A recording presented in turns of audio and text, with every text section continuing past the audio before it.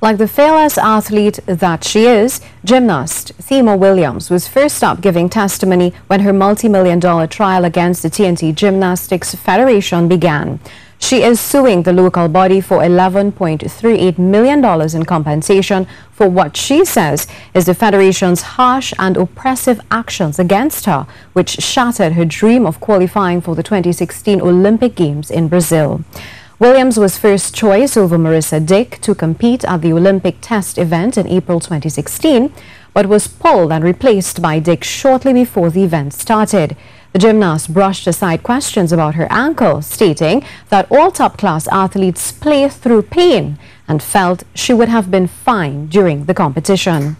Williams also contends that the Federation's actions resulted in tremendous loss of opportunities and damage to her personal and professional reputation.